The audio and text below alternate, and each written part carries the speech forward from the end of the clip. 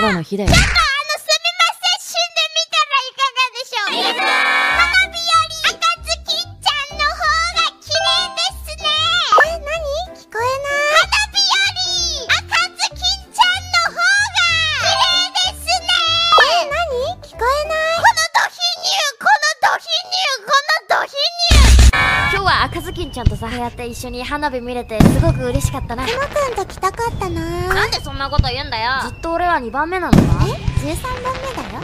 お顔待ってそれはやばい